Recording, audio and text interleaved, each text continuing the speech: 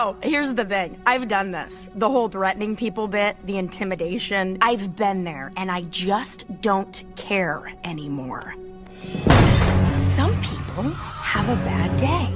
I've had a bad life. If I want something, it's taken from me. If I win a fight, I lose the war. Threats only work on someone who has something to lose. But me? I've already lost it all.